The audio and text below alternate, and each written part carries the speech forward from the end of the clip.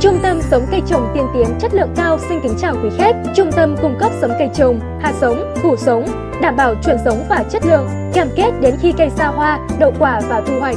Quý khách liên hệ số điện thoại Zalo, Facebook 0973 401 793 0981 735 077 0971 057 088 0962 209 813 Địa chỉ Hợp tác xã giống cây trồng Cổ Bi, xã Cổ Bi, đường Cổ Bi, Gia Lâm, Hà Nội.